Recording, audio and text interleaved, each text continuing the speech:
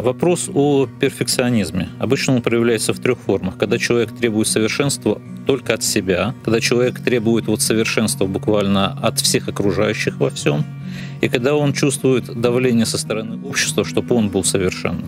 Но на карантине специалисты отмечают то, что человек в новых для себя условиях постоянно ошибается, и перфекционизм или стремление к нему может, наоборот, навредить человеку, довести его до серьезного нервного срыва. Вообще перфекционизм сейчас это хорошо или плохо? Я считаю, что человек не должен себя ограничивать, что он не должен себя насиловать. Если у него есть стремление к чему-то, он должен его реализовывать. И ни в коем случае не пытаться сделать себя проще, что так, как бы якобы тогда ему будет лучше. Нет. Найди для себя любимое дело. Займись им. Попытайся в свою работу добавить еще какую-то нотку заинтересованности, себя самого вложить и так далее. Ты увидишь, что жизнь начинает приобретать дополнительные окраски. Ты можешь поднять себя совершенно на другую тональность в жизни. Для чего живешь, ради чего живешь и так далее. Это все зависит только от тебя. Так что не смотри на эту пандемию.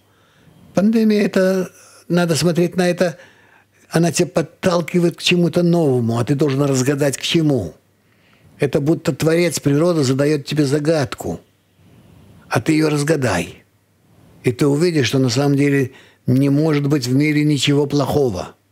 Все идет только по нарастающей, к образованию, к воспитанию, к развитию. И так вот мы и будем идти вперед.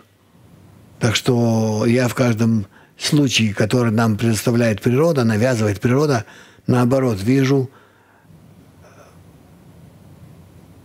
э, как тебе сказать, возможность.